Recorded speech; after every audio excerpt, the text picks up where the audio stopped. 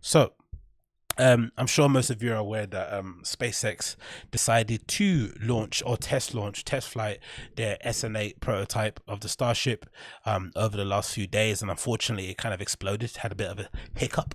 But still, man, it's pretty impressive to see something like this happening in real life, right? IRL is pretty, pretty impressive.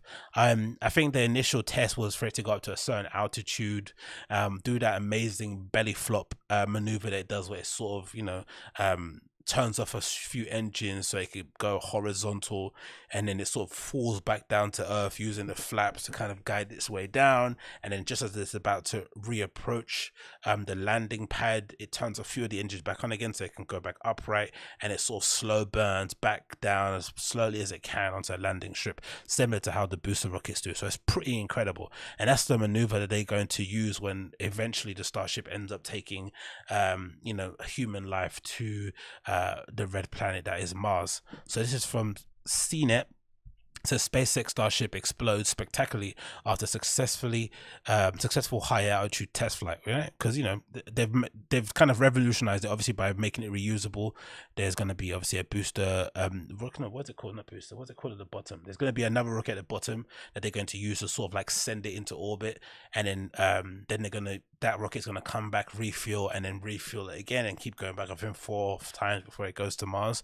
So the idea is to, of course, get this technique right but in order to kind of iterate as fast as possible to kind of ramp up production and get us going as soon as we can, um, because Elon Musk believes in us being interplanetary species for the. I guess for the what you call it to make sure that we survive as a species in the long term, because obviously the damage that we're doing to the earth, blah blah blah blah. He's decided to do this thing where he's iterated loads of different prototypes. I think they have like 14 or something I think it's up to 14. So um, this is obviously SN8, um, and then of course SN8 exploded. So they're gonna go, they're gonna gather the learnings from the test flight and then implement that into SN9 and continuing on, continuing on, continuing on until they have one ready um, to take their maiden voyage. So this is from CNET. SpaceX Starship explodes spectacularly after successful um, high altitude test flight says Elon Musk Starship prototype as you can see is falling back to the earth. Like, look how cool that looks, man. That is so awesome to see. Um, yeah, my Starship uh, SN8 prototype, reminiscent of something Buck Rogers might have piloted, fell um, serenely and silently through the Texas sky for almost two minutes on Wednesday. Then its Raptor engines roared to life, uh, righting the rocket into a vertical orientation in preparation for landing. But it was a little too late, or maybe some of both. A few seconds on, and one particular and one spectacular explosion later, SpaceX's latest next generation rocket prototype followed its first successful high altitude flight with a hard landing that sure to be an instant member of the GIF and meme halls of fame. Definitely. But look at it. It just looks so incredible. The flap sort of maneuvering as it sort of tries its best to. Um, the whole idea, from what I understand, is that they, I guess, when it I guess the gravity in Mars is far greater than it is here on Earth. So the idea is that it needs to kind of reduce its speed to a certain level so that when it re enters the atmosphere on Mars, it can softly land. So that's kind of the issue that they kind of have um, here in terms of testing it, because I guess the gravity on Earth is a lot hard, is a lot greater than what it is on Mars. Um, but in general, anyway, that's the best way to land uh, a spacecraft. I think from what they say. I wonder why you don't just learn like why it's not possible or why it isn't effective to learn a rocket. I guess because it's a rocket and you don't want to make, you don't want to kind of take up space with wings. I wonder why you just can't land it like the way an airplane does. That's sort of like on the ground that way. Maybe that's a bit hard in terms of spatial awareness and all that sort of stuff. Um, who knows? Um, it continues here.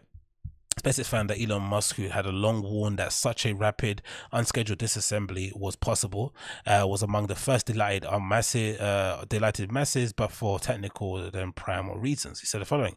Um, successful ascent here, switch over to header tanks and precision flap control to landing point. So I guess all the points that he wanted to kind of um, run through in a successful manner it happened. Of course, it exploding at the end wasn't, you know, um, something that was planned for. But the actual things that are probably the hardest to get right, lift off, um, successful ascent, switch over to header tanks, precision uh, flap control to landing point were all sort of ticked off.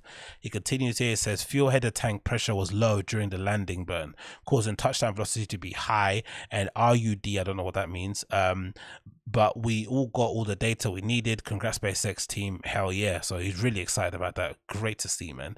SpaceX latest Starship um, iteration finally lifted off from its pad around 2.45 p.m. on Wednesday. An earlier attempt on Tuesday was aborted with just one second left due to an issue with the Raptor engines. A few minutes into the Wednesday flight, one of the three Raptor engines stopped firing. According to Musk, each t- shutdown was intentional and the engines did great. So I guess I think we, because we're rewatching it, I think the engine here that we're seeing, we all assumed as SpaceX nerds that there was something wrong with that third engine here. There's three Raptor engines here on the inside, but that wasn't necessarily the case. That was all intentionally done uh, by SpaceX in order to kind of, I, I guessing, to allow it to re-enter to the no maybe, maybe it's just a test in general to make sure they could individually turn on off and on the raptors. Who knows? This is way above my intellect level but i'm still really interested in it.